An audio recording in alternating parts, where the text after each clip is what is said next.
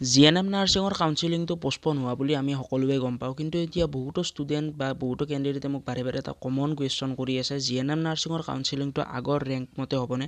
মানে তোমালোকৰ চাৰিদিন হ'ব বুলি তাত দিছিল কাউন্সিলিঙৰ নটিছখন যদি তোমালোকে ভালদৰে চাইছে গম পাবা।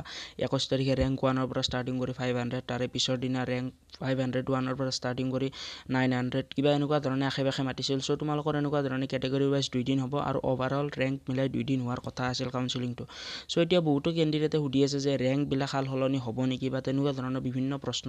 চ' আজি এইটো ভিডিঅ' বেছি দীঘলীয়া নকৰোঁ কিন্তু ভিডিঅ'টো আৰম্ভণি কৰাৰ আগতে যদিহে তোমালোকে এই চেনেলটো বৰ্তমানলৈ ছাবস্ক্ৰাইব কৰা নাই ছাবস্ক্ৰাইব কৰি লোৱা কাৰণ এই চেনেলৰ জৰিয়তে দায়িত্ব সহকাৰে সকলোবোৰ মেডিকেল কোৰ্চৰ লগত জড়িত খা খবৰবোৰ টাইম টু টাইম দি থকা হয় আৰু আহিবলগীয়া দিনবোৰতো দি থকা হ'ব। চ' ছাবস্ক্ৰাইব কৰি ল'বলৈ একেবাৰে নাপাহৰিবা।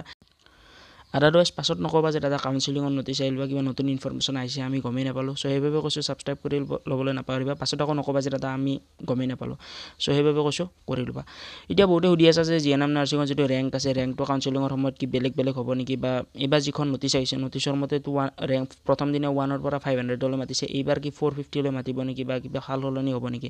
চ' লাষ্ট ইয়েৰৰ ওপৰত বেষ্ট কৰি তোমালোকৰ ক'ভিডৰ সময়তো বিভিন্ন ধৰণৰ যিবিলাক এক্সামিনেশ্যন আছে কম্পিটেটিভ এক্সামিনেশ্যন তাৰে যিবিলাক কাউন্সিলিং আছে কাউন্সিলিং কাউন্সিলিঙৰ প্ৰচেছটো পষ্টপন কৰি দিয়া হৈছিল এডমিশ্যনৰ প্ৰচেছো পষ্টপন কৰি দিয়া হৈছিল যাৰ ফলত তোমালোকৰ মই যিবিলাক নটিচ আছে নটিচবিলাক চালোঁ চোৱাৰ পিছত গম পালোঁ যে তোমালোকৰ ৰেংকটো কোনো ধৰণৰ ইডিট কৰা নহয়।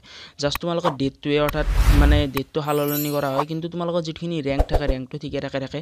যেতিয়া তোমালোকৰ জি এন এম নাৰ্ছিঙৰ ৰিজাল্ট দিছিল ৰিজাল্ট দিয়াৰ পিছতে মই তোমালোকক কৈছিলোঁ যে এইবাৰ কাউন্সিলিংটো চাৰিদিন হোৱাৰ চান্স আছে কাৰণ এইবাৰ নতুনকৈ ই ডাব্লিউ এছ কেটেগৰীটো ইনক্লুড হৈছে যিটো লাষ্ট ইয়েৰৰ ছেশ্যনত নাছিল।